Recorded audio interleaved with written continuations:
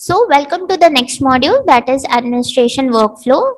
So as we have seen administration hierarchy, it is necessary to know how the administration key area responsibilities and its workflow is all along. So moving on to the next, we see cloud administration workflow for new service provisioning. So what is the first thing when comes into picture is that the department user will raise a request for your service like a VM for application. So it will be your uh, department user will raise a request for that service. That is a VM for any application. The next is that IT head, like in the hierarchy, as you have seen, the IT head will validate the request and it will send to the department head for cost approval. It needs a cost approval, like whatever the requirements are meant there, are there. As per the recommendation the cost approval should be done. So it head will validate the request. A validation is very important whether the request is as per the uh, needed uh, as per the requirement and then it will validate and then send the department head for the cost approval. Once the cost approval is done it will what will happen is when approval uh, is obtained request comes to the help desk. So to open a a ticket so there will be a ticket open. So when it comes to the help desk, they will open a ticket. And then the cloud administrator will come into picture and it will pick up the ticket and provision the services on the cloud. As the key responsibility areas, we had seen provisioning of the services was done by the cloud administrator. So once the ticket is picked up by cloud administrator, what he will do is he will provision the services on the cloud as per the request was from department user. So the provision services credential are handed over to the requested user. All the provision services, whatever the services as per requirement for there, they the credentials are handed over to the requested user.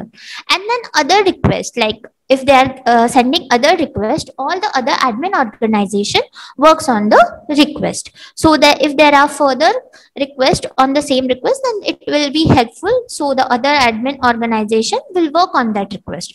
So this is how the cloud administration workflow includes for the new services provisioning. So here you can see a sample ticket for new services provisioning you can see here the ticket number. This is a sample. So consider like it is a, a sample. So what all uh, things are included what points are included over here is as per the workflow we can see there is a ticket number. As you can see once uh, like it head will validate and send uh, to the department head for cost uh, approval uh, it, the help desk will open a ticket. So here the ticket number is there. You can see the severity. Like what severity? what are the like what priority to be given? Is it critical? Uh, so a b so on depending upon that you need to give the severity of that ticket. Then the request raised by the person who has raised the request. And the request type what type of request it is? Is it a cloud service? Is it a network service? So new cloud service.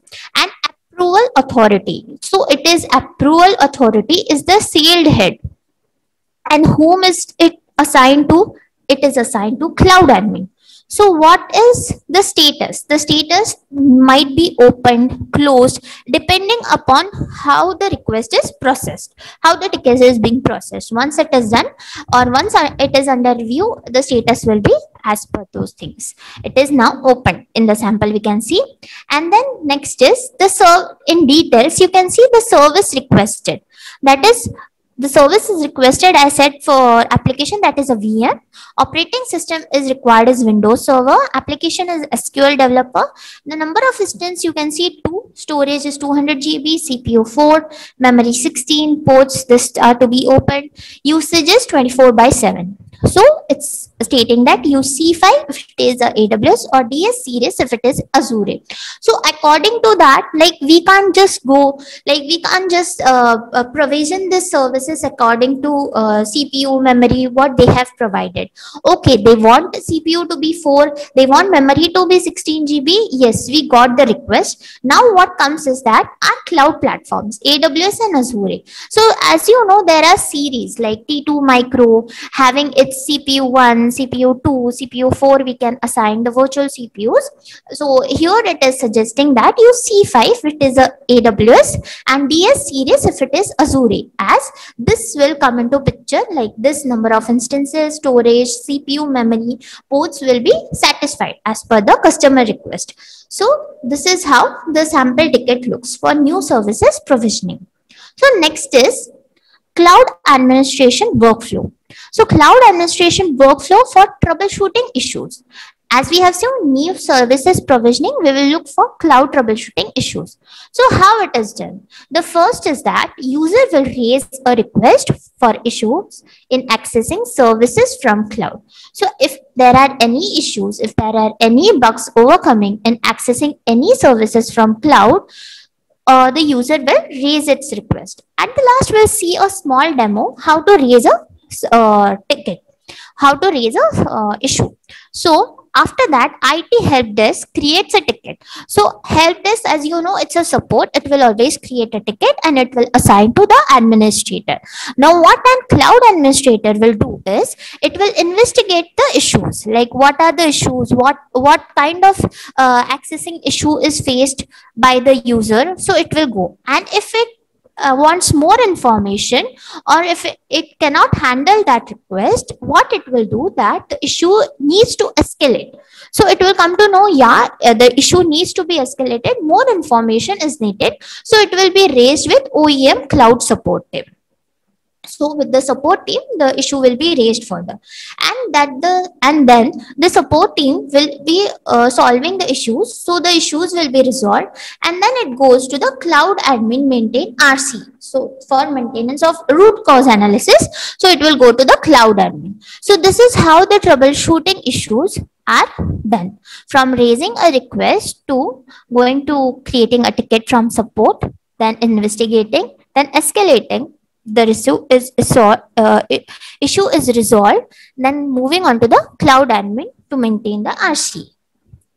So seeing the sample ticket of issues or break fixes, let's see that as I have told you, this is a sample ticket. You can see ticket number, the severity, request rest, request type, that is a break fix assigned to the cloud admin, status is open. Approval authority is IT head.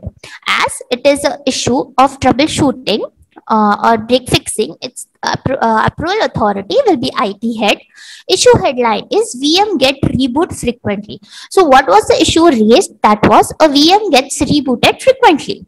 So issue is de uh, described a small description to be maintained like what uh, happens to that that is VM is getting rebooted randomly after applying updates since last Monday. So what is happening was it gets rebooted. Like frequently it's get, getting rebooted.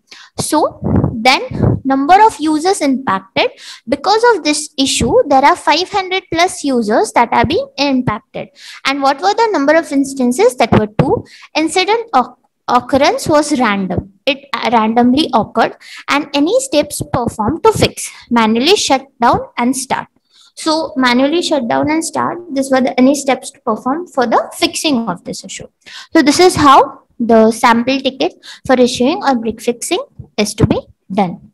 So let's stop over here and we have seen cloud administration workflow for provisioning services and issues and break fixing.